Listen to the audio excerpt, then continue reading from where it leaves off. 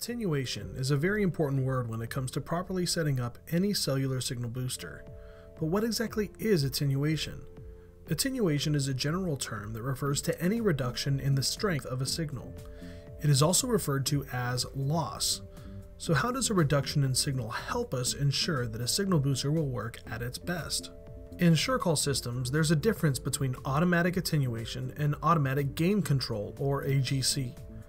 AGC adjusts the booster automatically to compensate for signal fluctuations. Automatic attenuation automatically reduces the booster's incoming and outgoing signal reception depending on what the software tells it to do. Manual and automatic attenuation have different advantages and disadvantages. In any booster system, there is an indoor antenna known as the broadcast antenna and an outdoor antenna known as the donor antenna. In an ideal scenario, each antenna is both receiving and projecting signal at their maximum power level. If these two types of antennas are installed too closely, they will create a feedback loop that will ultimately force the booster to shut down. When the booster automatically adjusts attenuation, both the outside donor antenna and inside broadcast antenna attenuate in equal amounts. This is great for ease of install, but may affect coverage as all of the antennas inside will be equally affected. On a booster where there are dip switches that control the uplink and the downlink separately, you have the ability to create what is called asymmetrical gain.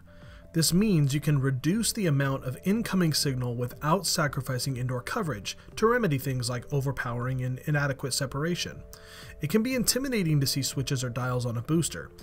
It is also time consuming to configure the booster if it requires manual attenuation. However, SureCall has a way to remotely monitor and adjust the booster's attenuation levels called the Sentry Remote Monitoring System. Automatic attenuation is accomplished through software. This makes installing boosters with automatic attenuation quick and easy. The disadvantage to relying on software to automatically adjust both gain and attenuation is that you cannot control how much coverage area you get with the booster. Also, if your booster automatically attenuates, proper separation is a must. Manual attenuation is the way to go if you are working in an area where there are many cell towers that could overpower the booster. It is also great for areas where you need to adjust the coverage areas. Many experienced installers like having the ability to control the gain of the booster. Manual attenuation is also important if you can't get enough separation between the outside and the closest inside antenna. Keep in mind that increasing the distance between the internal antennas and the outside antenna is often a better solution than manually adjusting the booster. Automatic attenuation works well in more rural areas where the cell towers are more spread out.